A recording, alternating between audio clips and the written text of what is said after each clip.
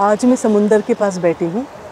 आप लोगों को एक मेथड दूँगी जिससे आपकी सारी इच्छाएँ पूरी हो जाएगी। यानी कि आप अपने डिज़ायर्स को मैनिफेस्ट कर सकते हो।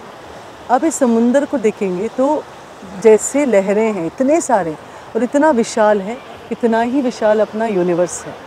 विश्व है, बहुत विशाल है स्काई के जैसे, पानी के जैसे और उसमें अनगिनत अनगिनत इतना सारा मटेरियल है, चीज़ें हैं और इतने सारे आपको जो जो चाहिए, हर डिज़ायर फुलफ़िल करने का आपका एक पावर है इस यूनिवर्स में।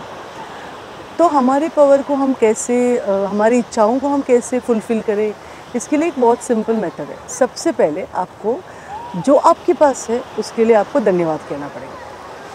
क्या है आपके पास? एक सुंदर सा शरीर है, रहने के लिए घर है, खाने के लिए आपके पास पेट भरने के लिए, खाना खाने के लिए खाना है उसके बाद में आपके पास कपड़े हैं, जूते हैं, जो आपके पास गहने हैं, जितनी भी मटेरियल थिंग्स है और अच्छे अच्छे गुण जो आपके अंदर है, उन सबको आपको धन्यवाद कहना है।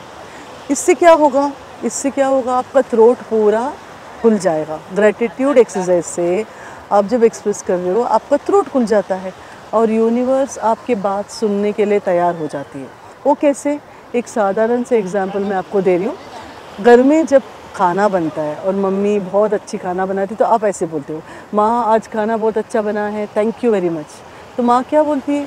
और क्या कहोगे बताओ बेटा कल मैं वो भी बना सकती हूँ तेरे लिए। ये जब आपको आप जब अप्रिशिएट करते हो माँ आपको और भी देती है। इसी तरह विश्व में भी आप जब कोई भी चीज़ को अप्रिशिएट करोगे आपको दोबारा बहुत सारे इच्छाएँ पूरी करने के लिए आपको एक मौका मिलेगा।